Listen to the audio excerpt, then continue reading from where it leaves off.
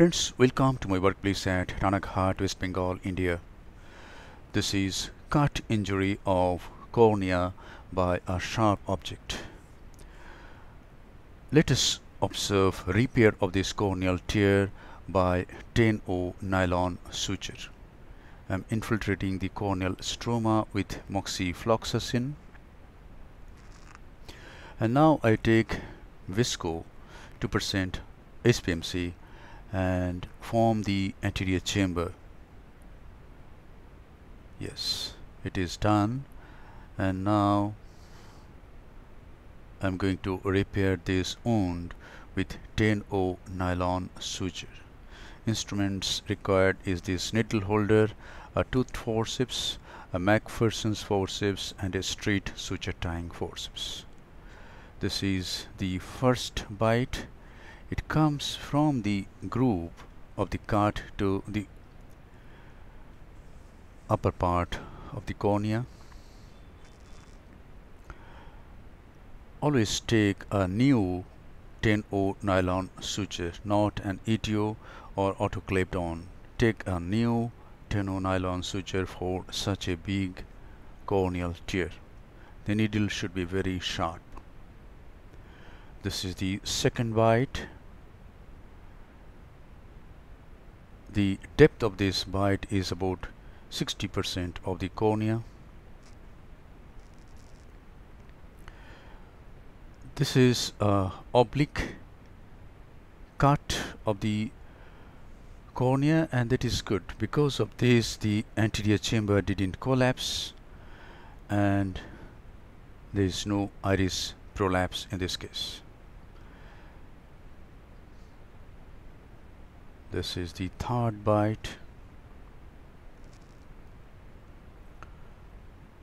always ask the assistant to put a few drops of Ringer lactate and in between few drops of moxifloxacin over the surface of the cornea. This is the fourth bite I'm going to cover the length with this continuous shoelace suture and on the side I will put two interrupted sutures. This is the tongue-like projection here and the direction of bite should be like this. And now it comes back taking bites in between. Second bite while coming back.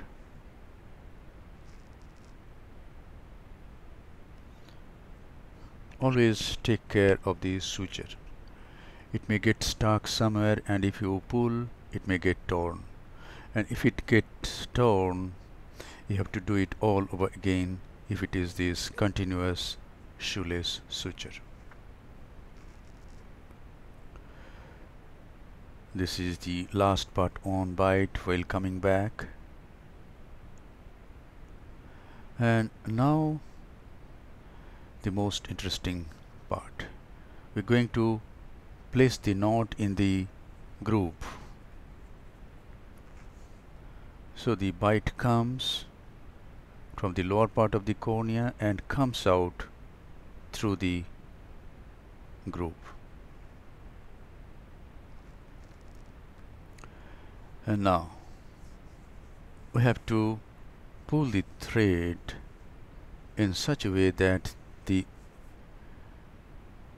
wound margin is nicely opposed.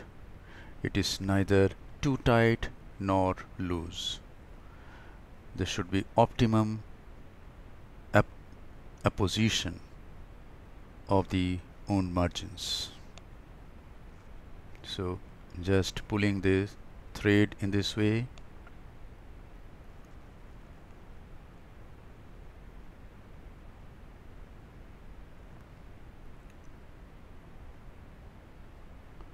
Done.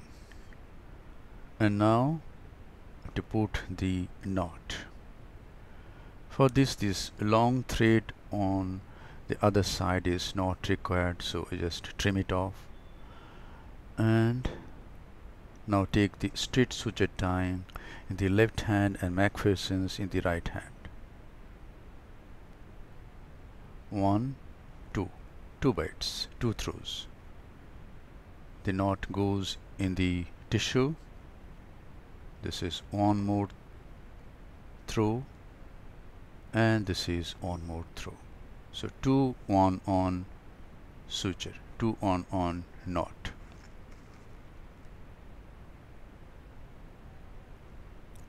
Now we have to cut it very carefully. We should not cut the knot.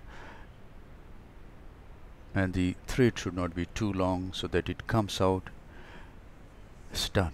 Now this is an interrupted suture here to cover this area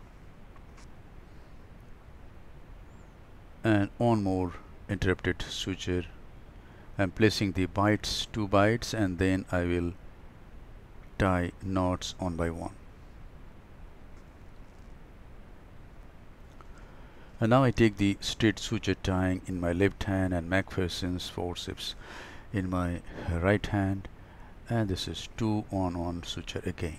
2 3 is not required 3 becomes too thick knot and it is difficult to bury the knot into the corneal tissue.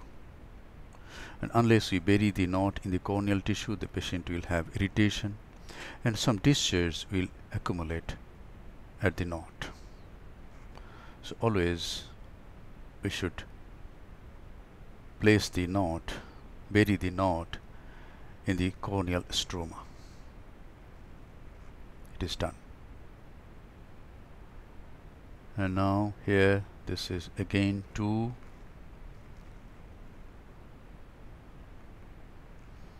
then 1 and then another one. Again uh, 2 on on suture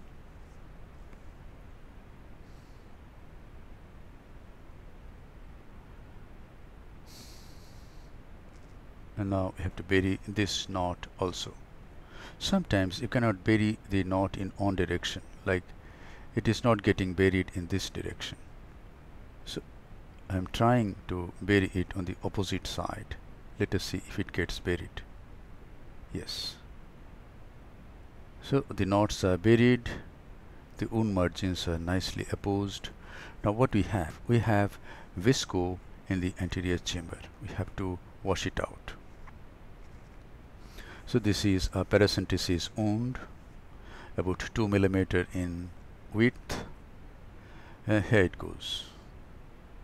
This is a Simcoe cannula 23 gauge I am spending adequate time and doing it slowly to remove this to remove this hydroxypropyl methyl cellulose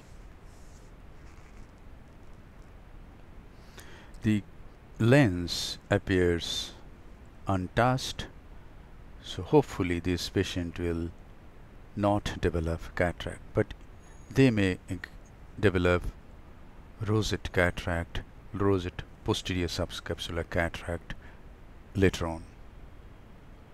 The anticapsule is intact and the lens is clear at this moment. This is moxifloxacin over the ocular surface and the case is concluded. Thank you very much for your attention. Hope this video will give you some tips to repair corneal wounds